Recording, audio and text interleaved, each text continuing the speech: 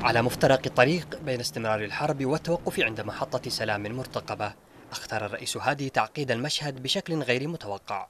قرارات مفاجئة جاءت بالجنرال صاحب الشخصية الأكثر إثارة للجدل إلى منصب لا يريده فيه الكثيرون في تأكيد على مقولة هادي قبل أيام بداية لكل شيء.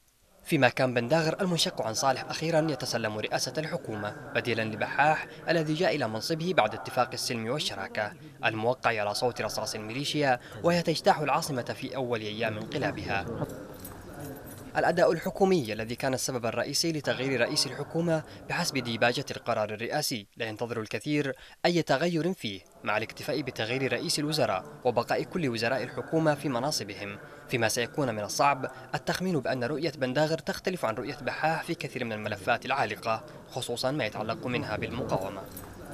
هذه التغييرات في التشكيلة الأعلى للسلطة الشرعية. تختزن الكثير من الدلالات ومعها لا يمكن التنبؤ بأي اتجاه سيمضي مسار التسوية المرتقبة والتي ستعقد جولة حاسمة في الكويت نهاية الشهر الجاري كما هو مفترض.